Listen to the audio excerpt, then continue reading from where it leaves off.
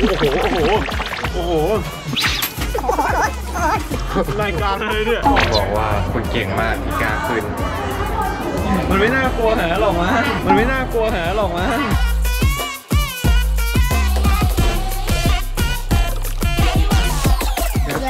ขอให้รายการ snap ปังๆเฮงๆนะครับสาธุสาธุ อันยองอาเซโยครับ ตอนนี้เราอยู่ที่เกาหลีใต้นะครับ อยู่ที่วัดอะไรนะไกด์แฮดงยงกงซา เออเออพูดถูกครั้งนี้ก็เป็นเกาหลีครั้งแรกของไกด์นะครับใช่มาเป็นครั้งแรกก็เป็นหลายครั้งของตะวันแล้ว แต่ว่าก็เป็นครั้งแรกที่ปูซานของตะวันเหมือนกันอืมจริงๆ วัดนี้ประวัติเขาที่อ่านมานะเขาบอกว่าเป็นวัดที่แบบว่าขอเรื่องความรักอีกอันหนึ่งคือไฮไลท์ก็คือถ้าสมมติใครแบบอยากมีลูกอืมก็วัดนี้เลยครับ มาขอพรกันอืมนี่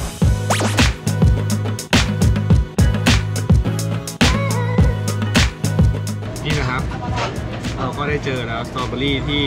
ลูกก็จะไม่ค่อยอ้วนไม่ค่อยกลมเท่าไหร่เขาไม่ใช่หน้าของเขาอาจจะแบบว่าแต่ว่าดินน้อยไปหน่อย เป็นไง อืมเขายังหวานอยู่ยังยังมีความหวานอยู่ได้อยู่นะ อืม 이거 한 개 얼마요?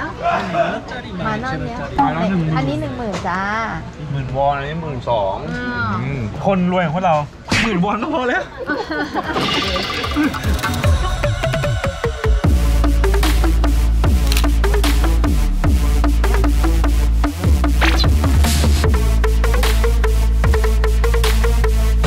โอ้โหควันแบบขโมง อันนี้คืออากาศไม่ได้เย็นนะ คือมันร้อนจริงอร่อยไหมพี่ ๆ ยังอร่อย มันไม่เหนียวเลยอะ มันเป็นป ลาหมึกที่แบบกินแล้วไม่เหนียวอะมันกรอบๆมันเป็นฟีลแบบกรอบๆแล้วก็ไม่เหนียวเลยกัดแล้วก็กรึบกรึบกรึบกรึบเข้าไปเลยอะผมเป็นคนไทยที่สามารถแรปได้ ไหนโอ้โหโอ้โหโอ้โหรายการอะไรเนี่ย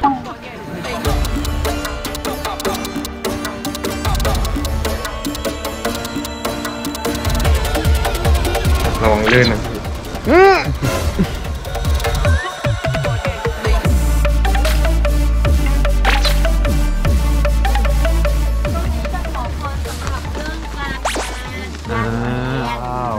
คือการงาน언니ขอให้รายการ snap ปังๆเฮงๆนะครับสาธุสาธุ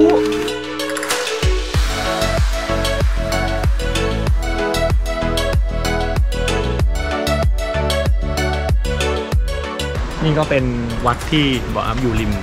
ริมผาริมหินโขดหินนะครับ ซึ่งเป็นวัดที่สวยมากอืมติดอย่างเดียวแค่วันนี้ไม่มีแดดใช่เพราะว่าวันนี้ฝนตกนะครับ แต่ว่าก็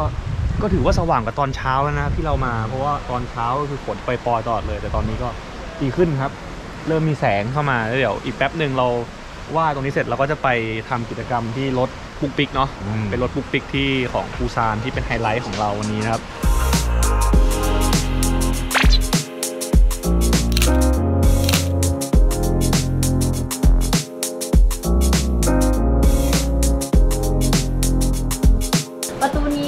เขาเรียกว่า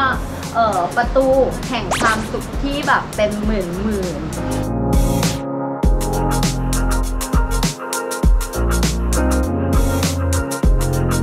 คล้ายๆบ้านเราที่เวลาทำบุญก็คือทำบุญอ่าเขาเรียกว่ามุงกระเบื้องครับแต่เวลาทำบุญก็เอาเราก็บริจาคเนี่ยเราก็จะเขียนชื่อเราในมุงกระเบื้องแล้วก็ขึ้นไป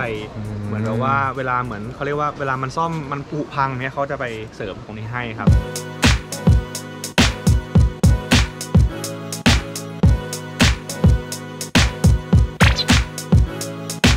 คือมันเป็นวัดที่วัดที่ใช้คำว่าไม่ได้แปลกหรอก คือเราไม่เคยเห็นมากกว่า เพราะว่าปกติเราเห็นวัดกันอยู่ ตามเมืองตามหัวเมืองต่างๆเนี่ยแต่อันนี้เป็นวัดที่อยู่ตามติดทะเลแล้วก็อยู่บนโขดหินอะซึ่งมันมันสวยมัน Amazing มากๆ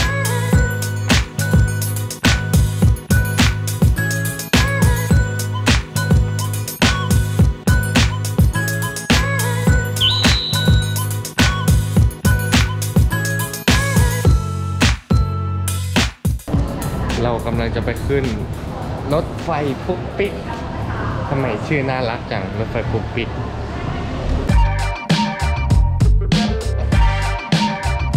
ก็คือรถไฟปุ๊กปิ๊กเนี่ยนะครับ คือนอกจากที่เราจะนั่งรถไฟได้แล้วอะข้างล่างก็จะเป็นทางเดินที่สามารถเดินได้ด้วยนะครับ ไม่ใช่แค่นั่งรถไฟอย่างเดียวก็คือ ดินจากสถานีนี้ไปอีกสถานีหนึงก็ได้นะครับ ก็คือความเร็วรถไฟเนี่ยจะอยู่ที่ 15 กิโลเมตรต่อชั่วโมงนะครับ ซึ่งในการเดินก็จะเท่าๆกัน คือถ้าเราเดินเร็วก็จะแซงรถไฟน่ารักนะน่ารักมากเลย ตอนแรกก็ไม่เข้าใจว่าทำไมต้องเรียกปุกปิกตอนนี้เข้าใจละทำไมอะ โหอันเล็กมากเลยอะปุกปิก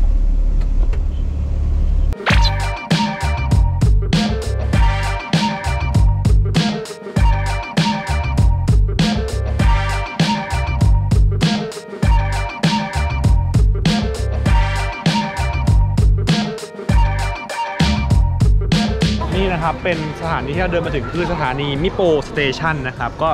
ฟิลก็คือเหมือนมันเป็นฝั่งในเมืองเนาะฝั่งติดทะเลที่เป็นชายหาดครับริมหาดมาสะพานแขวนอยู่ตรงนู้น เข้ามาแล้วก็นั่งย้อนกลับไปตรงที่เราขึ้นมาเมื่อกี้นะครับ And I'm putting myself in situations, standing on my own. They say that you love a confrontation. นี่เราอยู่ที่หาด ซองโดนะครับหาดซองโดใช่ ที่ตรงนี้เป็นชายหาดเป็นแบบชายหาดเลยแล้วก็ลงจริงๆมันน่าจะเล่นน้ำได้ อืม แล้วก็อันนี้เดี๋ยวเราก็เดินตรงเป็นสกายวอล์กตรงนู้นที่เป็นเกาะเต่าที่เขาพูดเมื่อกี้แล้วก็ใช่ เดี๋ยวจะขึ้นที่เป็นเคเบิลครับขึ้นไปตรงนู้นไปอีกเกาะหนึ่งข้ามไปอีกเกาะหนึ่งนู้นครับเดี๋ยวจะไปดูว่า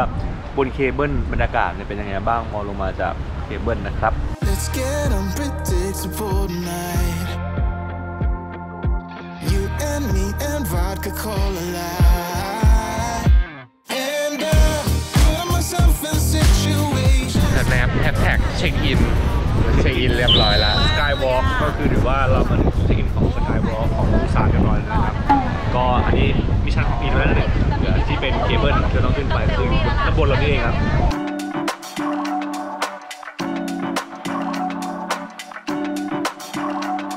เรากำลังนั่งรถไฟเหาะมานะครับ ใช่ไม่ใช่ เออเออรถเคเบิลกันรถไฟเคเบิลที่เมื่อกี้ต่อจากที่สกายวอล์กนะครับ ก็เป็นเคเบิลละนะครับ เหรียญผู้กล้าหาญเหรียญผู้กล้าหาญครับเขาบอกว่าคุณเก่งมากที่กล้าขึ้น มันไม่น่ากลัวหาหรอกมั้งมันไม่น่ากลัวหาหรอกมั้ง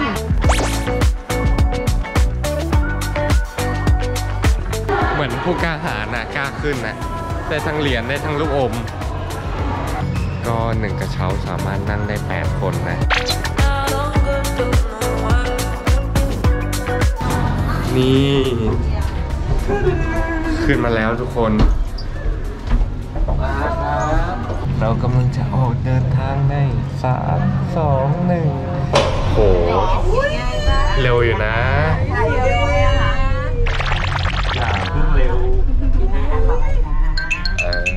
ก็ไม่ใช่เล่นๆเหมือนกันนะ มันไม่น่ากลัวหาหรอกมั้งมันไม่น่ากลัวหาหรอกมั้งคนละฟิลกับปุ๊กปิ๊กเลย โอ้ยเร็วมาก But I can never say forget to keep thinking of you. You love me. No forgiving, no forgetting, but I keep missing you. snap ตะลุยกำชอน It's cold outside,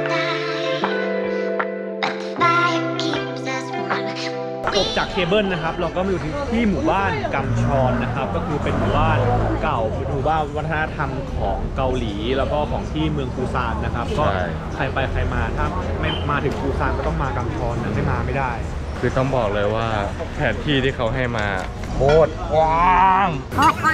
โคตรกว้าง It's cold outside.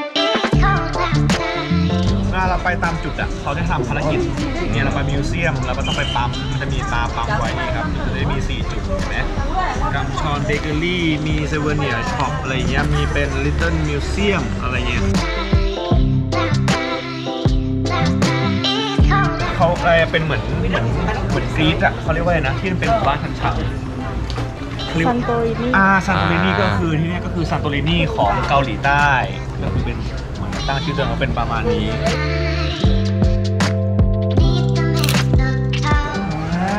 อ่าถึงตาเราแล้วแล้วก็ปั๊มครับ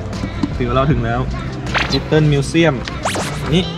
outside, outside, outside. กำชอนนี่เหมือนอันนี้ปะ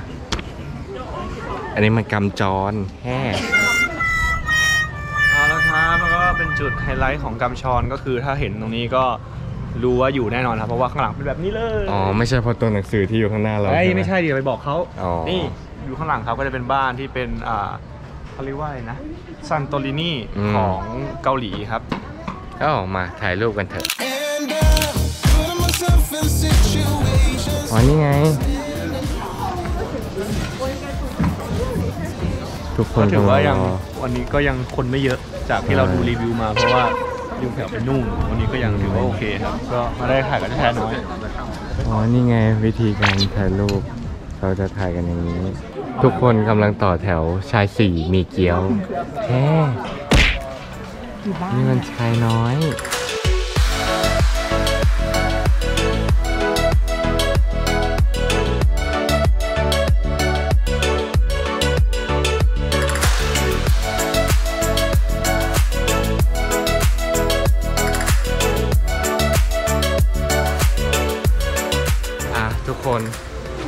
วันนี้ก็ขอตัวลาเพียงเท่านี้ วันนี้ก็เสร็จแล้วที่ปูซาน อืมเราก็จะบอกว่าก็เป็นเป็นธรรมชาติปูซานที่สวยงามใช่ มากๆ ที่เป็นมีความสงบ มีความเป็นชายหาด มีความแบบว่าเป็นธรรมชาติมากๆคือมือคือเหมือนเมืองติดธรรมชาติก็คือจะเป็นอีก feel หนึ่งก็คือมันจะไม่วุ่นวายเหมือนโซลก็รู้สึกว่าดี happy มากครับที่มาปูซานแล้วเดี๋ยวเจอกันที่โซลนะครับ ป่ะหนึ่งสองสามปุ๊บ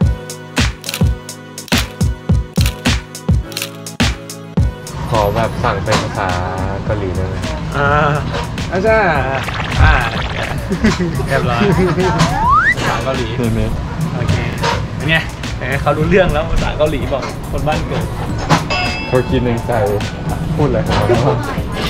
เฮ้ยดูดีนะ ดีกว่าอะตอมที่ทำอะไรนะโรตีสายใหม่วันนั้นนะเนี่ยใช่ไหมมาก็ใช้เวลากินนานหน่อย เออข่มข่มอะตอมหน่อยดิข่มอะตอมหน่อย